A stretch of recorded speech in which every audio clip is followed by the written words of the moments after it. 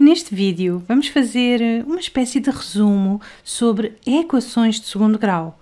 Vamos começar por pensar o que são efetivamente equações de segundo grau e depois de sabermos ou relembrarmos o que elas são, então vamos falar do que será a solução de uma equação de segundo grau. E para isso vamos começar por falar sobre o que são zeros e raízes. Vamos distinguir entre estes dois conceitos. E depois de percebermos o que são zeros ou raízes, vamos então falar sobre algumas das estratégias a que podemos recorrer para resolver equações de segundo grau. Não serão as únicas estratégias, mas vamos falar de duas delas.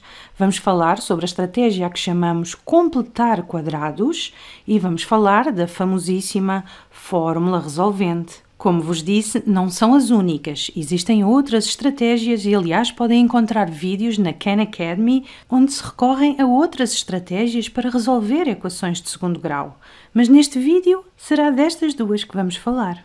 Além disso, vamos também falar sobre o número de raízes e estratégias para, sem resolver a equação de segundo grau, saber identificar logo à partida qual o número de raízes, qual o número de soluções que a nossa equação de segundo grau terá. E temos então aqui um plano daquilo que vai ser o nosso vídeo. Vamos então avançar. Então, aqui vamos ter sempre uma espécie de índice do nosso vídeo. Temos os vários pontos por onde vamos passar e tem também o minuto do vídeo onde cada um deles começa. E por isso, se precisarem de regressar ou de avançar, podem recorrer a esses tempos para saber onde devem colocar o vosso vídeo. E vamos começar então por distinguir entre polinómios de segundo grau e equações de segundo grau. Então, polinómios de segundo grau é aquilo que chamamos a um polinómio cujo termo não nulo de grau mais elevado é o de grau 2. Por exemplo, se tivermos o polinómio 4x ao quadrado mais 6x mais 1, aqui o termo de maior grau é este primeiro termo e é de grau 2. E, portanto, temos um polinómio de grau 2, um polinómio de segundo grau. E se tivermos, por exemplo, menos 5m ao quadrado mais 9. Para este polinómio, o termo de grau mais elevado é este primeiro termo novamente e é de grau 2, portanto, continuamos a estar perante um polinómio de segundo grau. E até mesmo se considerarmos um monómio, podemos ter um monómio de segundo grau. Vamos ver, por exemplo, se tivermos menos 4 terços y ao quadrado.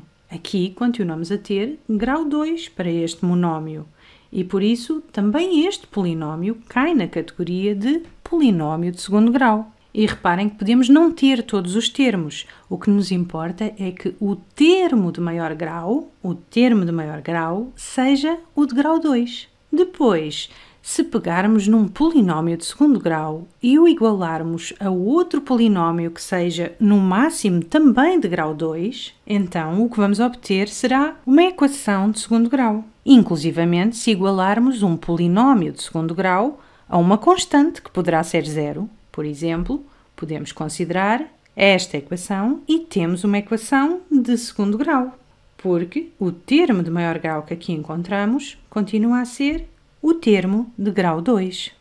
Por exemplo, podemos também considerar 32x ao quadrado igual a 9. Temos novamente uma igualdade entre polinómios em que o grau maior que encontramos é o grau 2. Então, estamos perante uma equação de segundo grau. Estamos a igualar um polinómio de segundo grau a um valor constante. Quando falamos de equações de segundo grau, é também frequente falar da forma canónica de uma equação de segundo grau. E o que é que queremos dizer com forma canónica? Dizemos que uma equação de segundo grau se encontra na forma canónica quando escrevemos todos os termos da equação, todos os termos não nulos, num só membro da equação e do outro lado temos um zero. Além disso, Todos os termos não nulos que juntamos num só membro estão escritos de forma a que o seu grau seja decrescente. Aqui, por exemplo, reparem que temos primeiro o termo de grau 2, sendo que A é o coeficiente desse termo de grau 2. Aqui temos o termo de grau 1, sendo B o coeficiente desse termo. E aqui temos C como o termo constante ou o termo de grau zero.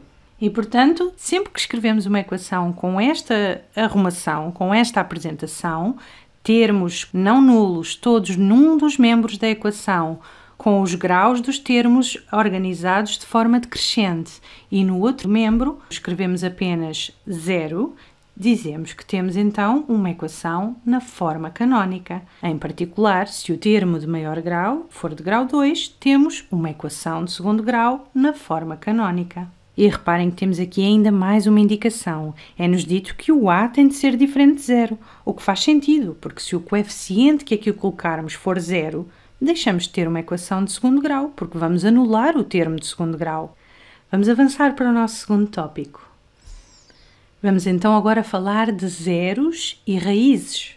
Chamamos zero ao valor de x que anula um polinômio e chamamos raiz ao valor de x que corresponde à solução da equação que se obtém ao igualar um polinômio a zero. Por exemplo, se considerarmos este polinômio que aqui temos, x ao quadrado mais 2x mais 1, o zero deste polinômio será o valor de x que, substituindo aqui nos locais onde o x aparece no polinômio, o valor do polinômio irá corresponder a zero. E, para este caso particular, o valor que nos satisfaz esta condição, o valor de x que faz com que este polinômio seja igual a zero, é o x igual a menos 1. E, portanto, neste caso, x igual a menos 1 é o zero deste polinômio. Quando temos uma equação, e reparem que aqui o que temos é o mesmo polinômio igualado a zero, a raiz vai corresponder à solução desta equação e x menos 1 é então a raiz desta equação. Temos então o zero como sendo o valor de x que faz com que o polinômio seja igual a zero e a raiz a solução desta equação. E, portanto, aqui a raiz corresponde aos valores de x que satisfazem esta equação, são a solução desta equação. Então, agora que já sabemos que a raiz é a solução de uma equação, vamos falar de estratégias para resolver uma equação de segundo grau. Vamos primeiro focar-nos na estratégia completar quadrados. Então, quando queremos completar quadrados como estratégia para resolver equações de segundo grau, o nosso objetivo é conseguir um quadrado perfeito para posteriormente aplicar a raiz quadrada. Ou seja, vamos tentar que na nossa equação consigamos escrever algo com este aspecto consigamos ter um a ao quadrado mais 2ab mais b quadrado. Para quê? Para depois termos este binómio ao quadrado. E ao fazermos isto, depois de termos tudo ao quadrado, podemos então aplicar a raiz quadrada. Mas vamos ver isto num exemplo concreto. Vamos considerar a equação x ao quadrado menos 8x igual a 20. Ora, aqui podemos considerar que o x ao quadrado vai corresponder ao nosso a ao quadrado. E nesse caso, já aqui temos também uma parte do segundo termo. Este a, que é o nosso x, também já figura aqui no segundo termo. E temos 2 vezes 1b.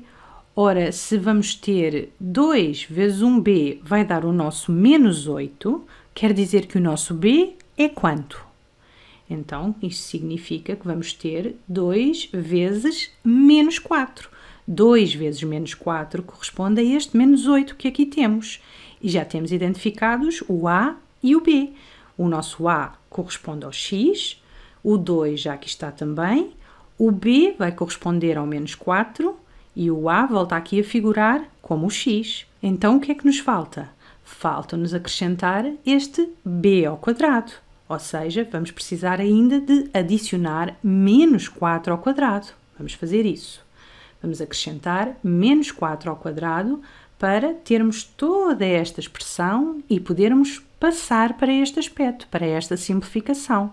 Mas reparem que estamos a resolver uma equação, não nos podemos esquecer disso. Não posso simplesmente acrescentar aqui este termo no primeiro membro da equação sem fazer nada ao segundo. Iríamos ficar com uma equação diferente. Se acrescentarmos aqui menos 4 ao quadrado, vamos também acrescentar no segundo membro mais menos 4 ao quadrado. E agora sim continuamos a ter uma equação equivalente à primeira. Agora vamos simplificar. Aqui, vamos então aplicar esta igualdade que aqui temos em cima. Vamos ficar com a mais b ao quadrado. Vemos então que o nosso a corresponde a x e o nosso b corresponde a menos 4. Então, vamos ficar com x mais menos 4a mais b, tudo ao quadrado. E deste lado temos o nosso 20 e o menos 4 ao quadrado, que corresponde a 16. E vamos mais uma vez simplificar o que aqui temos. Este mais menos 4 corresponde simplesmente a x menos 4. E também podemos adicionar o que temos aqui no segundo membro. E vamos ficar com x menos 4 ao quadrado igual a 36. E agora reparem, como todo o primeiro membro se encontra elevado a 2, podemos aplicar a raiz quadrada a ambos os membros desta equação. Vamos ficar com quê? vamos ficar a saber que x menos 4 terá de ser igual a mais ou menos a raiz quadrada de 36. E quanto é a raiz quadrada de 36? É 6. Então, o que estamos a dizer é que x menos 4 terá de ser igual a 6 ou x menos 4 terá de ser igual a menos 6. E agora temos duas equações de primeiro grau para resolver que é que vamos fazer? Temos aqui este menos 4 que queremos retirar do primeiro membro de ambas estas equações e por isso vamos adicionar 4 a ambos os membros da equação nos dois casos que aqui temos. Ficamos então com x menos 4 mais 4 igual a 6 mais 4. Adicionamos 4 nos dois membros da equação. Ou x menos 4 mais 4 igual a menos 6 mais 4.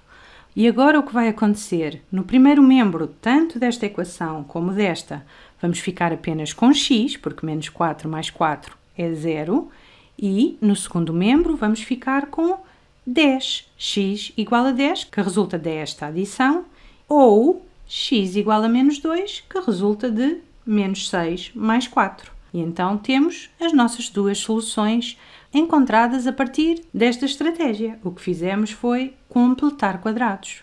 Vamos agora ver como utilizar a fórmula resolvente de equações do segundo grau.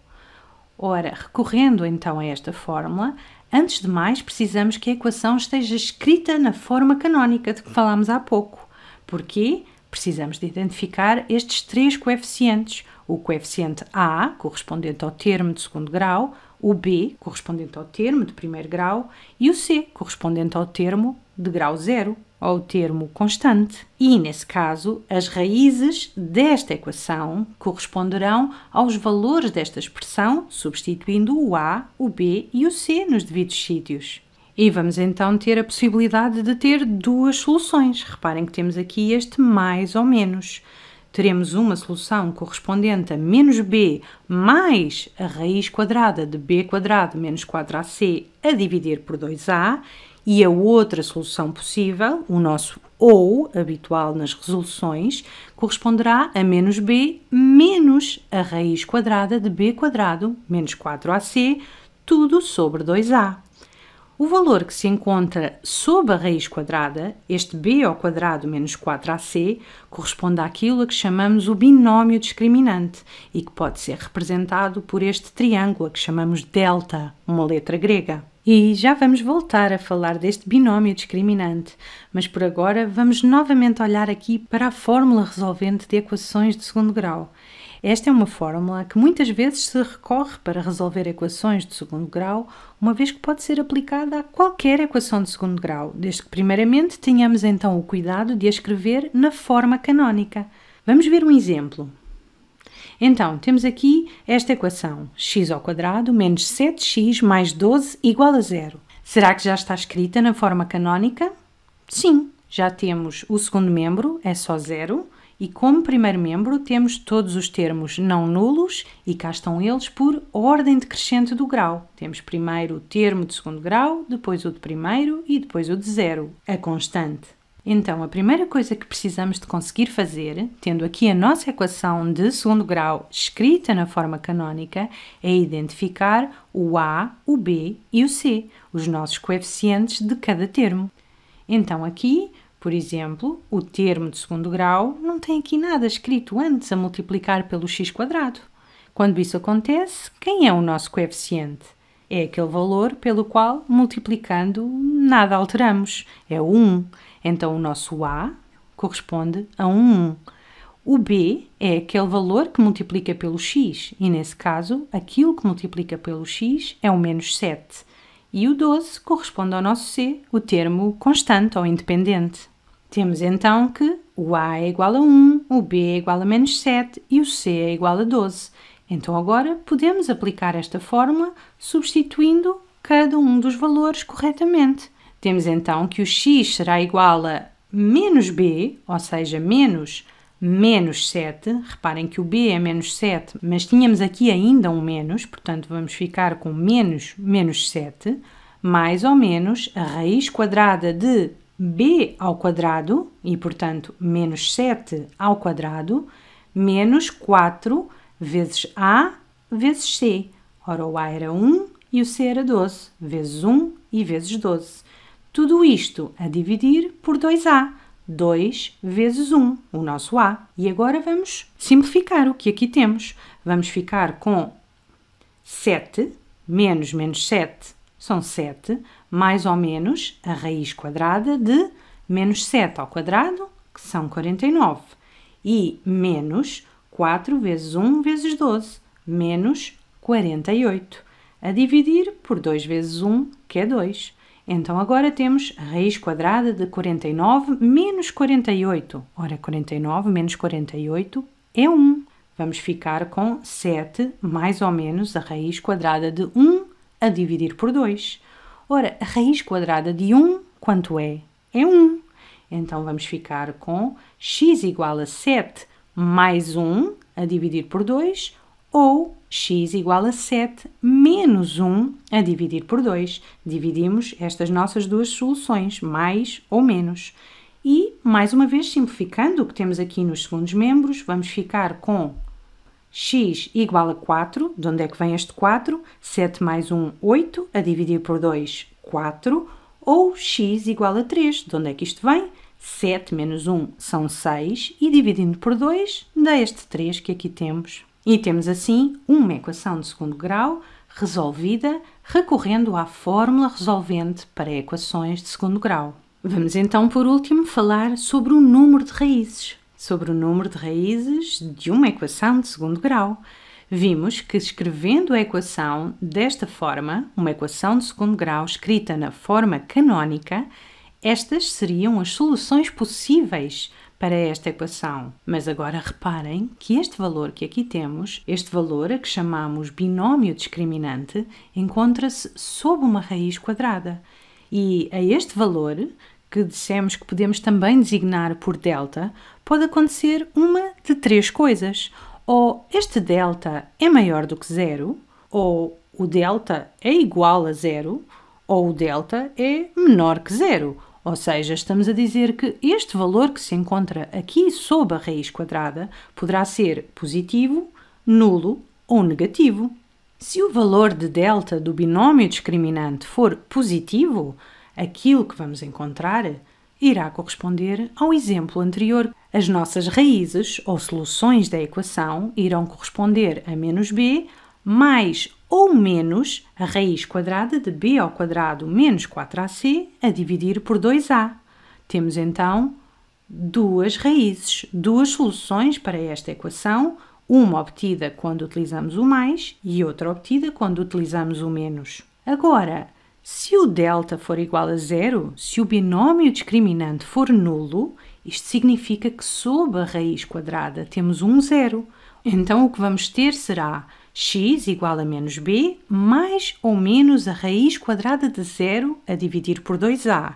Mas como a raiz quadrada de zero é zero, teremos apenas uma solução dada por menos b sobre 2a. E, portanto, neste caso, existe apenas uma raiz. Temos apenas uma solução para esta equação se o binómio discriminante for igual a zero. E se o binómio discriminante for negativo? se o valor que colocamos aqui sob a raiz quadrada for menor do que zero. O que é que acontece? Nesse caso, não conseguem encontrar um valor real que corresponda à raiz quadrada de um valor negativo. Então, Estamos a dizer que a raiz quadrada de b ao quadrado menos 4ac será impossível em R. Ou seja, o que estamos a dizer é que não existem raízes em R para esta equação se o seu binómio discriminante for negativo. Então, agora, sem esquecer esta informação que aqui temos, vamos ver alguns exemplos. Vamos então pensar nestas três equações que aqui temos. Olhando para a primeira equação, temos uma equação de segundo grau e já está escrita na forma canónica. Vamos identificar o A, o B e o C. Quem são eles? Temos como A o 4, o B corresponde a 3 e o C corresponde a 2. Então, a quanto corresponderá o binómio discriminante neste caso? O binómio discriminante irá corresponder a b ao quadrado menos 4 vezes a vezes c, ou seja, b ao quadrado, 3 ao quadrado, menos 4 vezes a vezes c, que é 2. E calculando o valor desta expressão, isto é igual a menos 23, que é um valor negativo. Ora, se é um valor negativo, se o nosso binómio discriminante é negativo, estamos perante este caso. E aquilo que sabemos é que esta equação não terá raízes em R. Vamos olhar para a segunda equação. Mais uma vez, temos uma equação de segundo grau que já se encontra escrita na forma canónica. Quem serão os nossos coeficientes A, B e C neste caso? Aqui temos facilmente identificáveis o B e o C, mas não temos nada a multiplicar aqui pelo x quadrado. Mas tal como vimos no outro exemplo, isso significa que o nosso A, que o nosso coeficiente, corresponde a 1. Então, agora que já conhecemos o A, o B e o C, quando será o binómio discriminante correspondente a esta equação? Vamos ter mais uma vez b, que é o 2 ao quadrado, menos 4 a multiplicar pelo a, que é o 1, vezes o c, que é o menos 8. Ora, calculando o valor desta expressão, isto irá corresponder a 36, que claramente é um valor positivo, de onde podemos concluir imediatamente que vão existir duas raízes esta equação terá duas raízes reais distintas.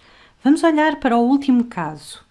Aqui, quem serão os coeficientes A, B e C?